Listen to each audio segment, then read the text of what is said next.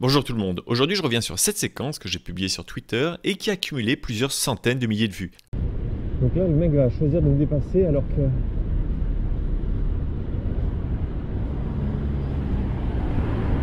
Ok, une voiture en stationnement. Et que c'est un feu rouge devant. Toujours euh, vraiment au maximum de l'intelligence. hein. On est sur des, des gens qui sont costauds. hein. Très très intelligents les gens. Très très très intelligents. Je n'aurais jamais imaginé qu'une simple scène du quotidien d'un cycliste puisse prendre autant d'ampleur et susciter autant de réactions. What the fuck? Je vais prendre le temps de revenir sur certains de ces points et surtout d'aborder la source principale du problème, l'aménagement urbain, en particulier les bandes cyclables.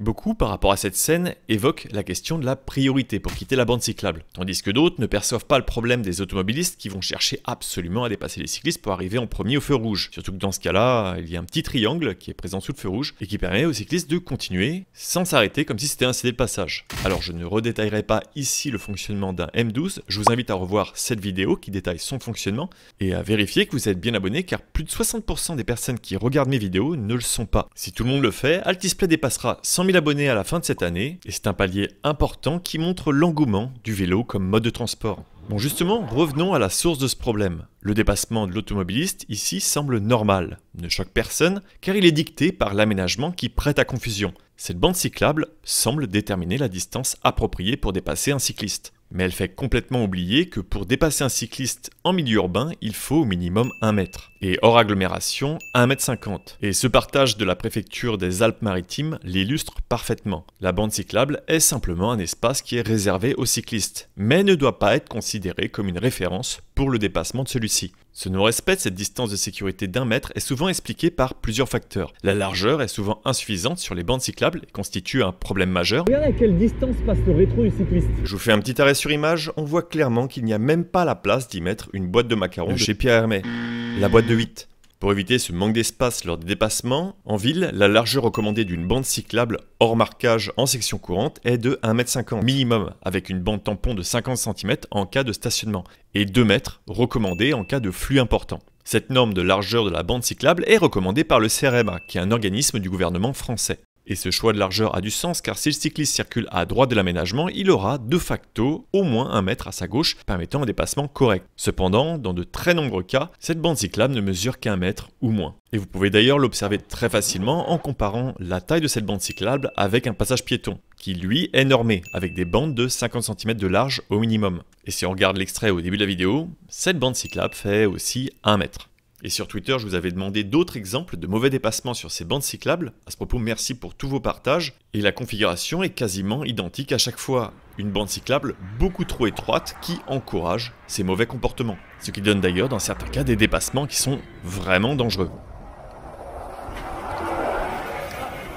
Et hors agglomération, ce problème est exacerbé, car la distance minimale doit être de 1m50. Laura, dans l'émission Biclou, avait d'ailleurs expérimenté cette bande cyclable d'une largeur ridicule sur une départementale. Je suis juste au milieu des voitures, si elles font un écart et qu'elles ne me regardent pas, c'est fini pour moi. Là, il y a un camion qui vient de passer. C'est le sentiment de rouler sur une autoroute en fait, en plein milieu de l'autoroute. Les voitures vont à 90 km/h à côté de moi. Vous voyez là le panneau C'est sans ambiguïté. Les conducteurs ne se décalent pas à l'approche des cyclistes, considérant cette bande cyclable comme une référence, comme dans ce cas où l'automobiliste va passer à plus de 80 km/h à côté du cycliste sans se décaler, va publier sa vidéo sur internet sans même comprendre où réside le problème.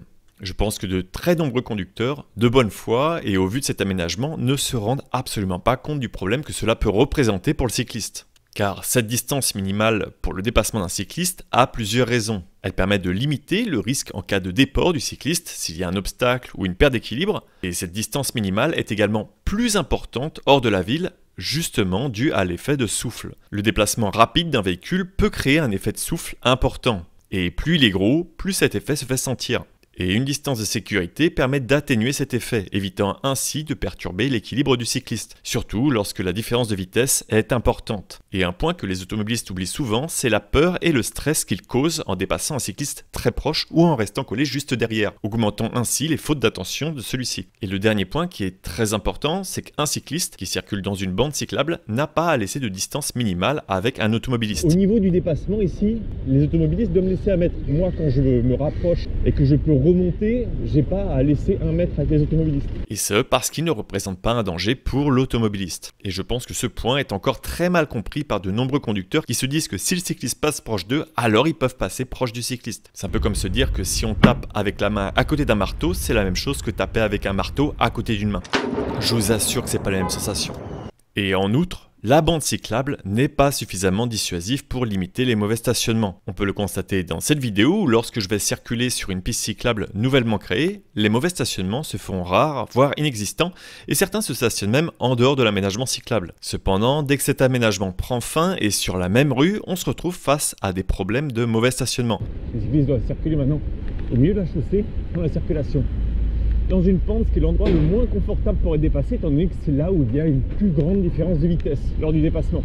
L'absence de séparateur physique ne permet pas de rappeler la présence de l'aménagement et il suffit qu'un usager franchisse le pas pour que d'autres utilisent cette bande cyclable comme un nouveau parking. Et ce n'est pas parce que c'est la France que la bande cyclable pose problème. Aux Pays-Bas également, j'ai pu constater ce problème. Dès que je croise une bande cyclable, je suis souvent exposé à ce type de mauvais stationnement. Et non, ce n'est pas un touriste étranger qui s'est arrêté sur cette bande cyclable, c'est bien un néerlandais. On peut le voir sur cette plaque d'immatriculation avec NL, qui indique bien le Pays-Bas. Oui, même les conducteurs aux Pays-Bas conduisent mal. Et même Ken Bogard, avec qui j'avais roulé et qui est actuellement au Japon, s'en rend compte. Mais ouais, normalement, toi, regarde, moi j'aimerais bien utiliser la piste cyclable là. Franchement, c'est chaud. Regardez. Moi je veux l'utiliser, mais. Il y a des voitures tout le temps partout.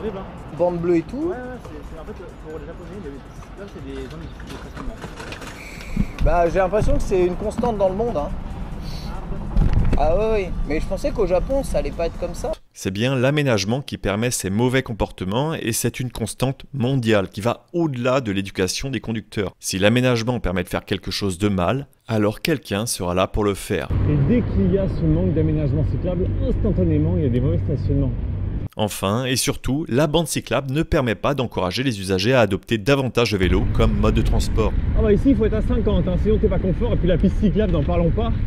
Une étude allemande réalisée en 2020 sur 22 000 participants montre que le sentiment de sécurité dépend de plusieurs éléments de la largeur de la bande cyclable, de la proximité avec le stationnement, et que cette bande cyclable ne sera jamais aussi sécurisante qu'une piste cyclable séparée de la circulation ou une route aménagée pour les cyclistes. Et cette étude révèle aussi l'importance de bons aménagements, car dès lors qu'un aménagement ne représente pas suffisamment de sécurité, il va décourager son utilisation, et donc le nombre potentiel de nouveaux cyclistes. Il est donc crucial de créer des aménagements et des structures cyclables attrayantes, sûres et bien intégrées dans l'environnement urbain pour inciter les citoyens à choisir le vélo comme moyen de transport au quotidien. Vous l'avez donc compris, la bande cyclable est donc l'un des pires choix d'aménagement, mais comment les remplacer sans compromettre la sécurité des usagers? Eh bien cela va dépendre de plusieurs facteurs, le nombre de véhicules qui transitent tous les jours sur cet axe et la vitesse des véhicules. En ce qui concerne la vitesse, il y a deux options. Soit on adapte l'aménagement pour que tous les usagers roulent à la vitesse du plus lent, en mettant en place des ralentisseurs à intervalles réguliers, comme par exemple illustré dans la vidéo, dans le premier extrait. Au début de cette rue, il y a des ralentisseurs qui sont très présents, environ tous les 50 mètres. Il à ce moment-là clair que la rue est limitée à 30 et je n'ai pas de problème avec le conducteur qui est derrière moi. Et c'est finalement quand il n'y a plus eu de ralentisseur sur cette route, pour une raison que je n'explique pas, que le conducteur a décidé de me dépasser. Et je suis certain que si cette route était plus étroite et que les ralentisseurs étaient présents à intervalles réguliers,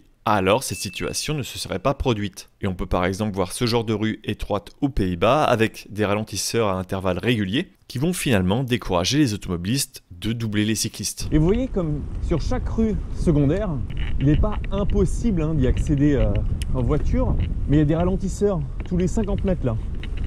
Ralentisseur, ralentisseur là-bas. Tout est fait pour euh, limiter l'intérêt de l'usage de la voiture euh, et surtout l'usage de la voiture à grande vitesse dans les petites allées. Donc tu vois clairement en fait que la circulation est, est limitée ici. Il est également envisageable de modifier le plan local de circulation pour diminuer l'intérêt d'utiliser certaines zones. Le simple fait de rajouter un sens interdit ou de modifier une rue en sens unique peut décourager certains automobilistes à utiliser une voie résidentielle comme un raccourci. Il est aussi possible de rajouter des filtres modaux dans ces rues résidentielles pour encourager des déplacements qui sont faits à pied et en vélo sur les itinéraires courts. Et enfin, il est aussi possible d'aménager ces rues en voies cyclables, comme par exemple cette rue que j'avais pu voir à Paris, qui indique clairement au centre de la chaussée la place des cycles. Et pour les voies où il est impossible de réduire la vitesse de circulation, il est indispensable d'envisager la création d'une piste cyclable séparée la circulation. Cela peut représenter un coût important pour une petite ville. Il pourrait donc être intéressant pour elle de repenser ses itinéraires secondaires et les rendre cyclables, comme expliqué dans les cas précédents. Je pense qu'il est aussi urgent de revoir cette taille minimale des bandes cyclables, car actuellement rien n'oblige une ville à faire des bandes de plus d'un mètre. Je trouve ça aberrant et je vous encourage à les signaler à vos villes, à la voirie, à dire que c'est dangereux. Car continuer à développer ce type d'aménagement, c'est continuer à encourager des mauvais dépassements. Car qu'on le veuille ou non, un aménagement guide notre manière de conduire et si celui-ci est mal fait, il créera de mauvais comportements. Les collectivités doivent donc prendre en considération ce problème et arrêter de reporter la responsabilité exclusivement sur les usagers. J'espère que cette vidéo permettra à chacun de mieux comprendre le point de vue de l'autre et dans l'attente partager un maximum ce contenu pour que les automobilistes comprennent l'importance de cette distance de sécurité lors du dépassement des cyclistes, bande cyclable ou non. Cet extrait vidéo que vous avez pu voir provient d'un direct durant lequel je me rends chez vous pour pouvoir livrer des petits bouchons lapins que vous avez commandés. Merci pour votre soutien via ce petit goodies qui apportera une touche de originalité sur votre vélo et soutiendra le média Altisplay. Et ça me permet aussi de découvrir des lieux dans lesquels je ne serais probablement pas allé en dehors de Paris. Merci également à tous ceux qui soutiennent Altisplay sans contrepartie, autre que de voir régulièrement des vidéos publiées sur cette chaîne, car c'est grâce à vous que je peux réaliser ce travail à plein temps. Et un grand merci aux relecteurs qui permettent cette vidéo sans faute. Il est temps pour moi de vous dire à bientôt pour de prochaines vidéos. Et bonne route Et dès qu'il y a ce manque d'aménagement cyclable, instantanément, il y a des mauvais stationnements.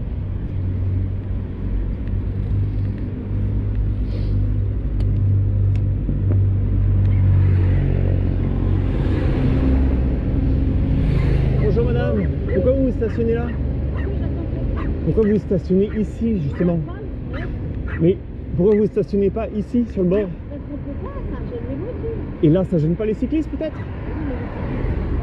Bah non ils ne peuvent pas parce qu'ils sont obligés de faire un détour, ils sont en détour dans la circulation. Regardez, regardez. Oui. La voiture qui avance là, elle est Oui. au milieu, mais faut se mettre où par rapport à lui là Vous vous mettez là sur le bord pour éviter de gêner les cyclistes qui passent. Elle se mettra sur le côté gauche, elle vous évitera. Vous créez un Ah. gêne et pas un Ah. danger. Là vous créez un danger pour les cyclistes madame. Ah. Vous comprenez mais, ou mais pas vous me voyez quand même. Je vois pas le rapport. Bah, vous me voyez, donc c'est pas un danger. Je vous ai pas rentré dedans. C'est l'évitement que je dois faire pour aller sur la chaussée qui est un danger madame. Ah, d'accord. Vous comprenez Mais- J'ai eu un accident à cause de stationnement comme ça. C'est terrible. À force de répéter, peut-être qu'ils comprendront. Hein. Allez, bonne journée.